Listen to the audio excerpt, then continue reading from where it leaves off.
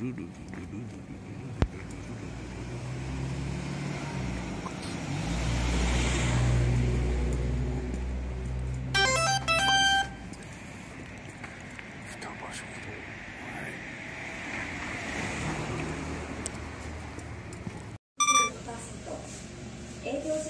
短縮が要請された午後8時以降がマイナス92%となっています。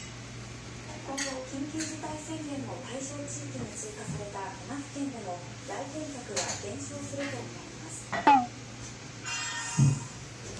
緊急事態宣言の発出で政府は車の運送についても自粛するよう要請しています業界からの増加を減らすために秩序を重んじる姿勢に転換した可能性がありますまた大統領就任式に向けて懸念される 過激な抗議を牽制するため必要な全ての資源を使うように命じた。と述べました遅く無法マスターの超着付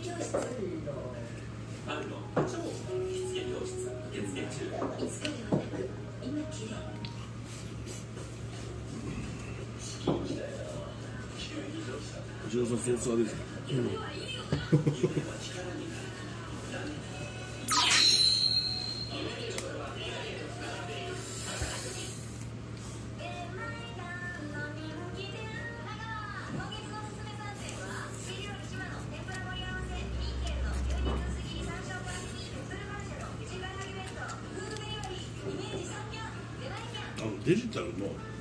九段下って何やってるんでしたっけ資生堂資生堂じゃないですか何でしたっけ何の舞台なんですかわかんないですよ。ステージか。